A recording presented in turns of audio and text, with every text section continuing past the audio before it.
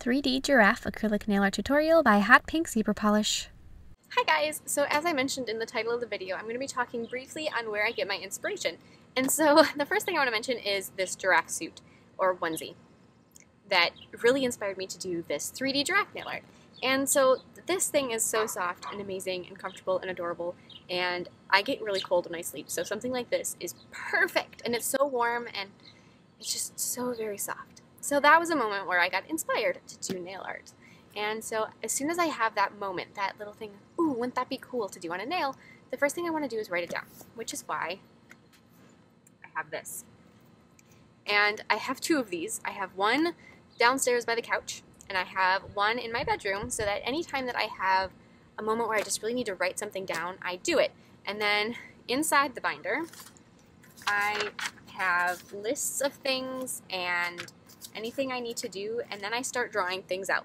That is plans for my birthday cake, and it was also plans for a design I did on my face for Independence Day a couple of days ago. And so that's how I do things when I get inspiration. The first thing I want to do is I write them down because you can forget things so quickly and you have this moment of, oh, that'd be amazing. And then 20 minutes later, you can't remember what it is. So write things down immediately. And as far as getting inspiration from things, get it from anywhere. Don't just try to go to Instagram and look up nail art to see what trips your trigger. Look for things outside, you know, outside outside of the internet. So like giraffe pajamas or or a Coke bottle that's just sitting by your sink. That's what happened with the Coke bottle design I did.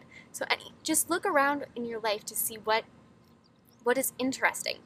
And anything that you like, it can be a piece of furniture or just just really anything you see because it's hard to create unique nail art these days because everything has been done at least twice.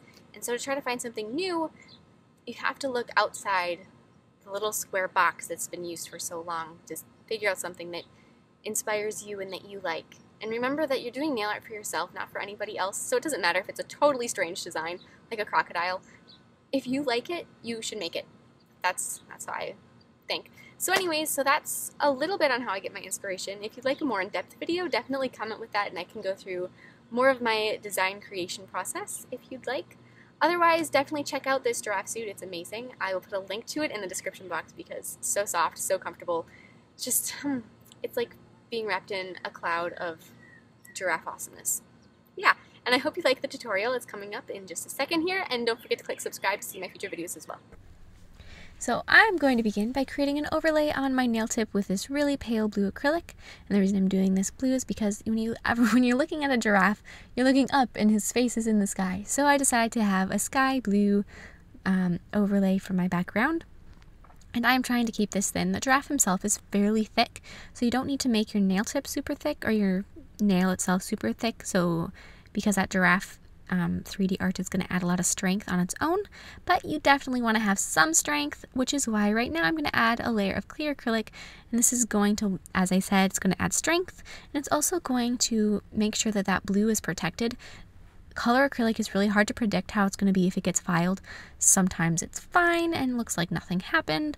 Sometimes it gets kind of white looking. Sometimes you just don't know for sure how the pigment is going to react to being um, coming in contact with something abrasive like a file. So you want to make sure to just add that clear on top to protect it just in case you hate to get so far into a design and then have to start over because something happened.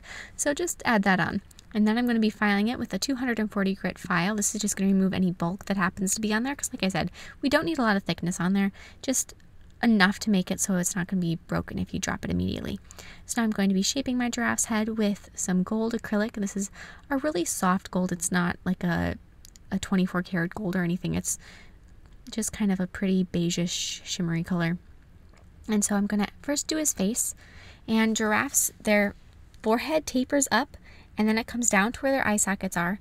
And so that is the widest point and then it goes back down into a tapered shape at the bottom. So it's kind of like a kite shape. And then I'm going to sculpt their little horns that are on top of their head. Their horns go pretty much straight up.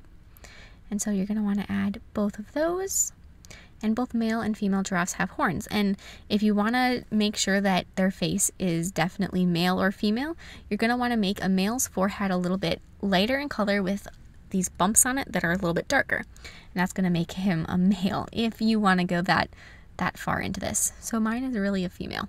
So anyways, on a few, then you're going to want to have to add the neck coming off the side. But now on a nail form backing, I'm going to be starting, starting to sculpt her ears. So I'm going to take and sculpt two triangles and then I'm going to let them set for about 30 seconds or so. It depends on how warm your temperature is, what kind of acrylic you're using, if it's fast, fast setting or slow setting or whatever. Once they start turning matte though, you can slide your brush underneath it and then fold in two of the corners of the triangle to create your ear. And really quickly, I just want to say congratulations to Talented Creations who won. Um, it's a little gift package from Pure Body Naturals that is for doing pedicures and essential oil stuff. So congratulations. I have contacted you already on how to receive that. And so yeah, and so now I'm going to start, I'm going to attach my giraffe's ear. So I'm going to place down a tiny bead of that gold acrylic with the tweezers, grab my ear and set it in it. And then add just a little bit more of that gold acrylic on top just to make sure it's nice and fully attached. And so then I'm going to grab a bigger bead of gold acrylic and place it back on the forehead because right now it's pretty flat. The ears are at the same level as the horns and the forehead, but you want to make sure that her forehead and her down her the center of her face is thicker. So you're going to want to add more acrylic at this point. And so right up the center of their face is going to be thicker. So as you can see, I'll turn it to the side just to see how it's looking. You want to make sure that it kind of slopes down and back on the side. So that's why I added that extra little bead in the center.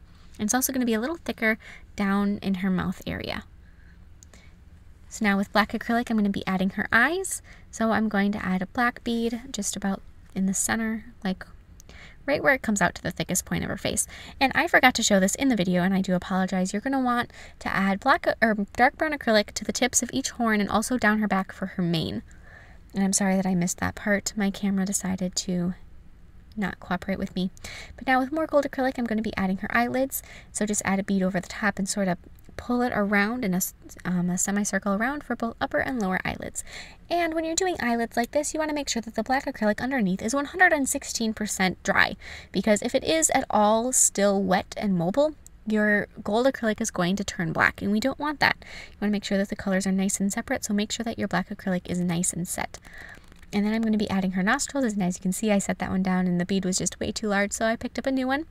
And so you're going to place down a bead, let it set for just a couple seconds, and then press it into the center like you're making a petal. And now switching to acrylic paint, I'm going to start adding some details. I'm going to be darkening up some of the areas, so I'm going to darken just the line between her face and her neck, and I'm also going to darken down the center of her face along with inside her nostrils and her lips. Inside her ears as well, and then once you have all that, so you're going to want to dilute your round paint for doing these parts. And also I'm going to do just sort of blend the tips of her horns down. And then I'm going to paint with the same shade of brown on her spots that are on her neck. And so now I'm going to take some diluted white paint and I'm going to do some highlighting on her eyelids and her nostrils and also the tips of her ears. and then a little bit on her mane just to give it some hair appearance. And then with black, I'm going to fix up her eyes a little bit and add some black inside her ears. And then also the line between her face and her neck and inside each, each nostril. And I'm going to cover her with some matte top coat. So this is just over the 3D art. And then I'm going to cover the background, so all that light blue, with some gel sealer so it's nice and glossy.